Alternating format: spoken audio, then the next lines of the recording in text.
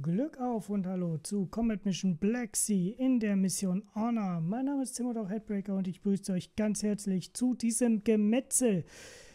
Ich würde sagen, wir springen auch gleich rein ins Match und sehen, was alles heute noch schiefgehen kann.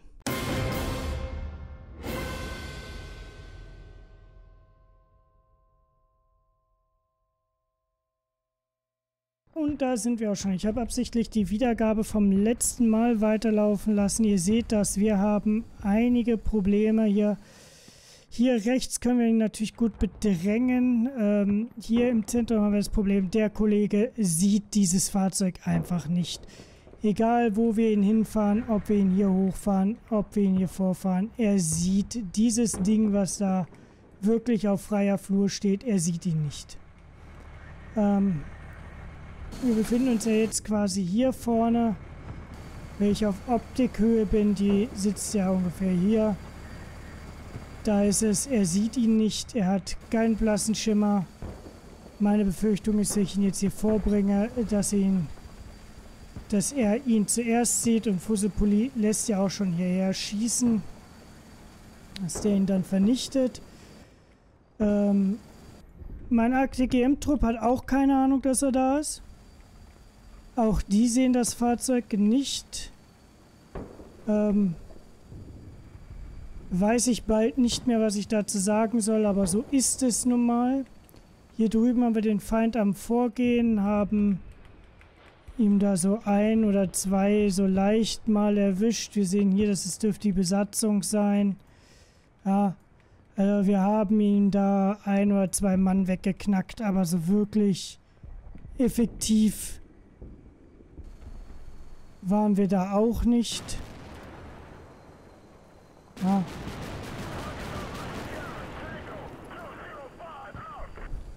Also diese BTRs sind halt äh, für uns die Katastrophe. Wir sehen auch hier einen Mann verloren ähm, durch Airburst-Munition, die er hier die Straße runterschießt und das ist genau das Problem.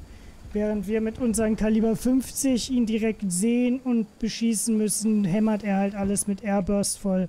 Und wenn ich dann noch dran denke, dass er ja zusätzlich noch äh, Kampfpanzer hat, dann wird mir, um ehrlich zu sein, ein wenig schlecht. Hier im Wald geht er vor, unser Panzervernichtungstrupp, der eigentlich dafür da war, hier das Fahrzeug, das im Rückraum ist, zu bekämpfen, ähm, hat dummerweise auf die Infanterie das Feuer eröffnet hat nicht großartig getroffen. Ja.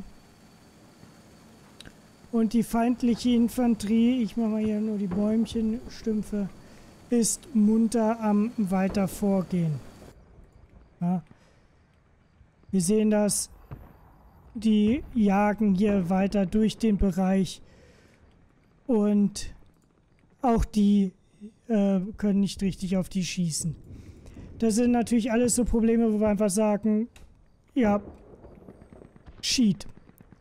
Ja. Hier drüben konnten wir uns lösen. Das ist soweit nicht das Problem. Und auch hier sind wir weiter über den Fluss. Ähm, hier ist natürlich ein großes offenes Feld. Hier jetzt äh, irgendwie lang zu jagen, wird der nächste Graus. Und da bin ich tatsächlich echt am überlegen, wie ich hier weitermachen soll. Wenn ich dann überlege, dass er jetzt schon mit einer Kompanie unterstützt von Kampfpanzern auf der Karte ist und noch Verstärkung kriegen soll, da weiß ich gar nicht. Also alleine, wenn ich dann überlege, ich soll hier noch Orts- und Häuserkampf durchführen, dann ist das tatsächlich aktuell ein Punkt, wo ich sage, okay, spannend. Ja, die sagen, sie können doch nicht auf die schießen. Ähm, wir sagen mir jetzt einfach mal halt bis zu dem Moment, wo ihr das könnt. Ähm, ja.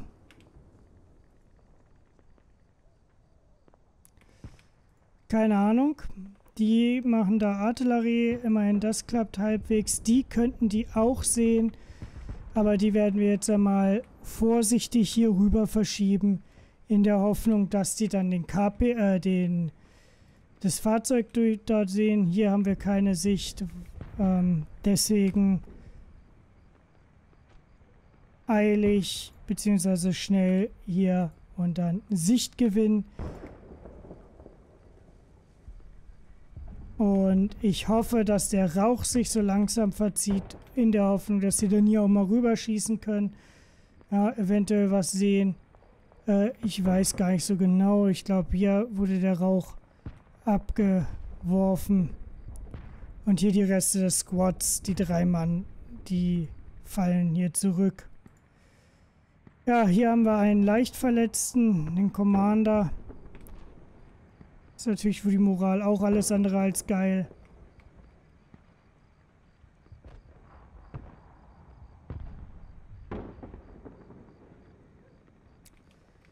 Und auch die haben keine Ahnung, dass dort der Feind wartet.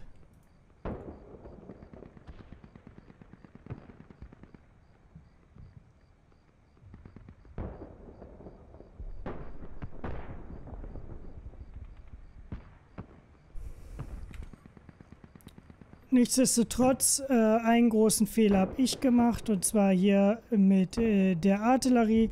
Ich hatte gehofft, dass ich hier den Feuerbefehl ändere, dass der bereits angefangene äh, ausgeführt wird und dann quasi angepasst wird. Das scheint nicht der Fall zu sein, sondern hier wird jetzt äh, erst äh, angepasst.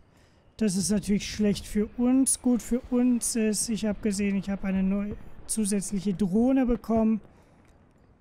Ähm, mit der möchte ich jetzt äh, hier drüben so ein bisschen aufklären. Ich hoffe, dass er mir die nicht gleich wegschießt. Ja. Und äh, wir werden deswegen auch nochmal ins Briefing gucken, weil ich war mir nicht ganz klar, dass ich noch eine Drohne bekomme. Sie steht hier auch nicht drauf.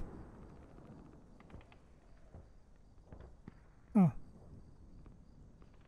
Aber die brauchen wir tatsächlich auch. Ein anderer Vorteil ist immerhin, wir sehen hier, unsere Mörser sind in Position. Und unsere euer Fire Support Team 3 Minuten, 4 Minuten, 3 Minuten. Und wir werden jetzt hier einfach mal das Ganze benageln mit Medium. Wegen den Bäumen gehe ich hier tatsächlich auf General, weil meine Erfahrung ist, es da dann ein bisschen besser funktioniert. Hier sollten wir noch einen Hide-Befehl dazusetzen, äh, einen, einen Target-Arc, damit sollten die da heiden. Ähm,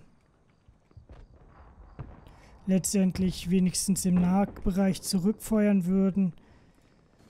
Und ansonsten, ich würde gern meine, äh, meinen Schwerpunkt verlagern. Das ist tatsächlich, worüber ich gerade nachdenke. Das Problem ist, hier wird er bestimmt mit seinen KPZs irgendwie über die lange Achse gucken oder hier lang und wird das damit einfach abdecken. Und ich glaube nicht, dass ich da relativ zügig äh, in Objective Bravo einfließen könnte. Und das ist ist tatsächlich meine Hoffnung war, hier im Norden durchzugehen, durch den Wald, den Vorteil zu nutzen, dass meine Fahrzeuge halt auch nicht kampfstark sind. Aber da ist er uns halt direkt entgegengekommen. Hier wird er auch überall mit den Dingern hocken. Und das Einzige, wie ich hoffe, dass wir da eine Schnitte machen, ist, wenn wir hier so langsam vorsichtig hochspähen, hier über die Anhöhe gucken mit unserem äh, ATGM-Trupp und ihm da ein oder zwei äh, Fahrzeuge weg knacken. Aber selbst das sehe ich bei meinem aktuellen Pech einfach nicht als gegeben. Da bin ich ganz ehrlich. Nichtsdestotrotz werden wir jetzt hier rübereilen. Ja, die müssen sich dann da drüben erstmal erholen.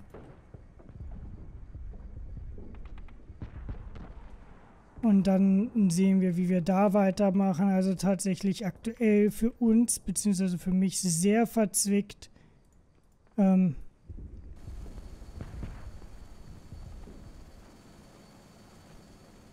Und deswegen ist, glaube ich, auch ganz gut, hier echt zusätzliche Unterstützung ranzubringen.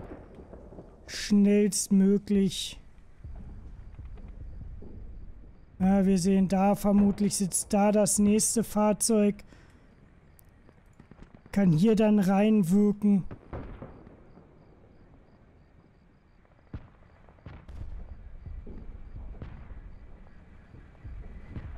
Und wird vermutlich die,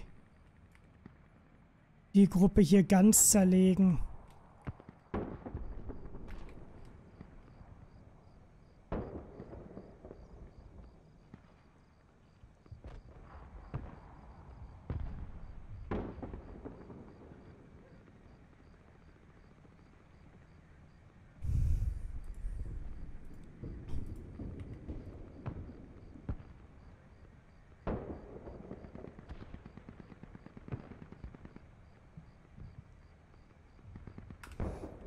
Also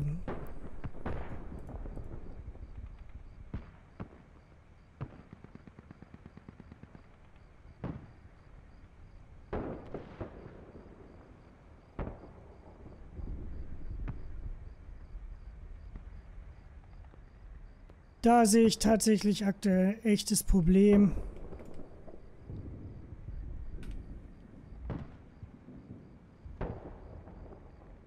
Noch kaum Chancen da, hier auf der Seite groß was zu reißen tatsächlich.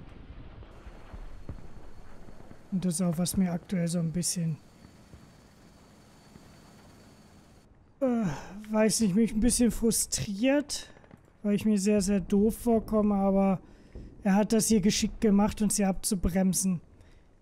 Ich gehe jetzt hier, ich habe zwischendurch überlegt, ob ich ihn Rauch schmeißen lasse, aber ich lasse ihn jetzt hier vorgehen. Ähm, würden wir noch eine Javelin verlieren, aber wenn der Zug tot ist, hilft uns die Javelin auch nicht. Ähm,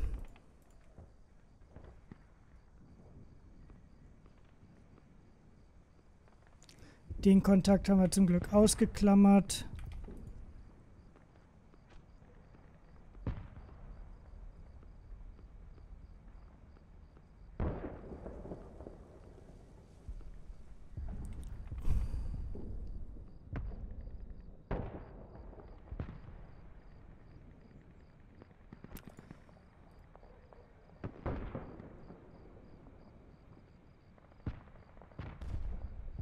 Ja, wenn die da nicht stehen würden, würde ich ja auch beinahe sagen, alles klar, wir gehen mit ihm hier schön hier vorne vor.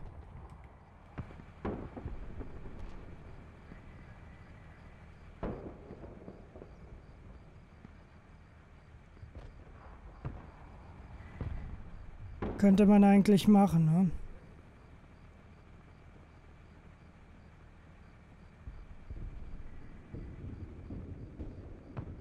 Na, hier würde er ihn nicht sehen. Wenn überhaupt, müssten wir hier...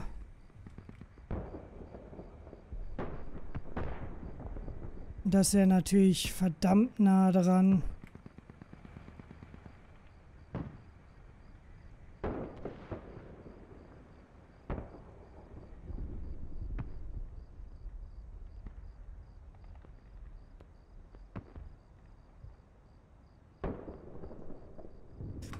Das hat keinen Sinn.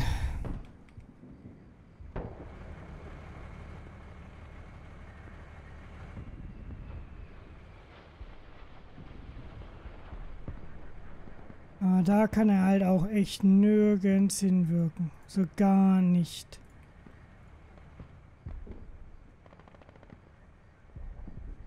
Hier angeblich auch. Einfach so überhaupt nicht, gar nicht. Und das ist jetzt halt wieder das Problem auch an den Action-Spots. Ich weiß, über die moser ich ein wenig häufiger. Aber das ist tatsächlich das Ding.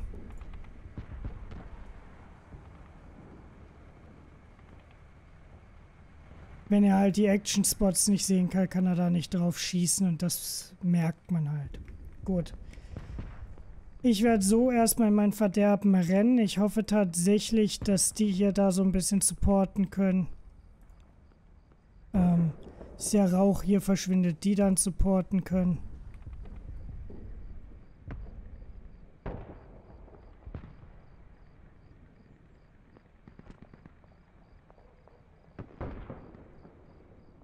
Die da rüberziehen. Und vielleicht können die noch was machen. Aber dann würde ich äh, den Zug wohl, wenn der dritte Zug ankommt, als Third Platoon, werde ich das wohl schön locker flockig austauschen können. Denn ich denke, dann ist der First, das First Platoon so runtergerockt, dass da sowieso kein Krieg mehr mit zu gewinnen ist.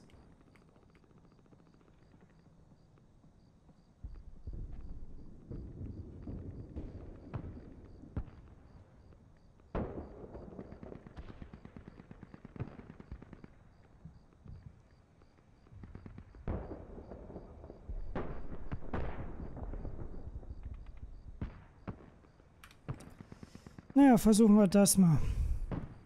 Die sind ja supported. Vielleicht muss ich meine Striker noch aggressiver einsetzen, aber...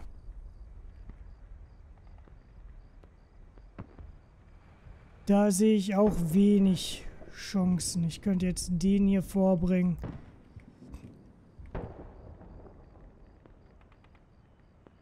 Hm.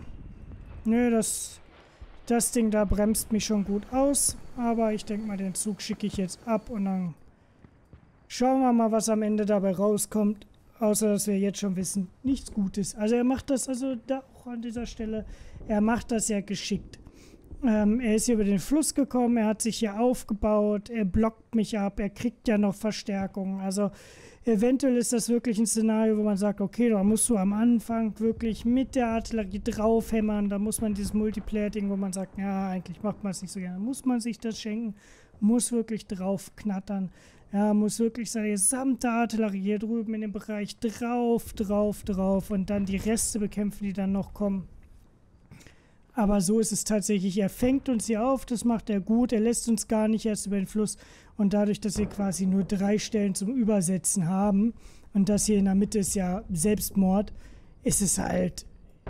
Er hat gut erkannt, dass hier im Norden wäre einer der Hauptangriffspunkte, ist uns gleich entgegen, fängt uns auf und blockiert uns komplett. Und hier kommt einfach sein besseres Equipment, zumindest was die Fahrzeuge angeht. Äh, hätten wir Bradleys, würde der würde das Ganze hier schon anders aussehen. Hätten wir ein, zwei Kampfpanzer, würde der Witz anders aussehen. So schießt er halt mit Kanonen auf Spatzen und ähm, unser Anfangserfolg mit dem BTR verpufft. Und das sieht man hier ganz gut. Unsere Verluste halten sich noch in Grenzen. Das wird aber mit jedem Mann, den wir weiter verlieren, einfach kippen. Und vor allen Dingen, ihr dürft einfach nicht vergessen, wir haben diese drei Dinge, auf die wir noch angehen müssen. Ja, der hier gibt die meisten Punkte, keine Frage. Und ich denke, der reicht für einen Unentschieden. Aber das ist halt der Punkt. Wir müssen hier trotzdem noch irgendwo rüber. Und da lässt er uns ja schon gar nicht hin. Logischerweise. Gut, ich schicke das ab und wir schauen mal, was zurückkommt.